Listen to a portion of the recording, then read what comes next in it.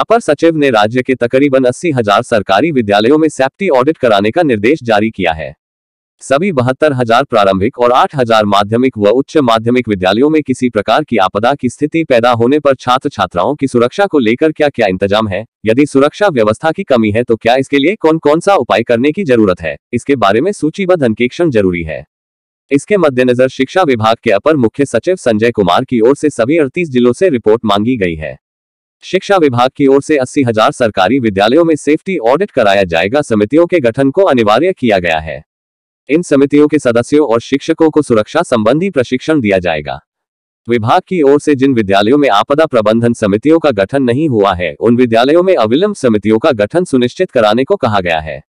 प्रत्येक विद्यालय में अग्निशमन यंत्र का इंतज़ाम अनिवार्य किया गया है।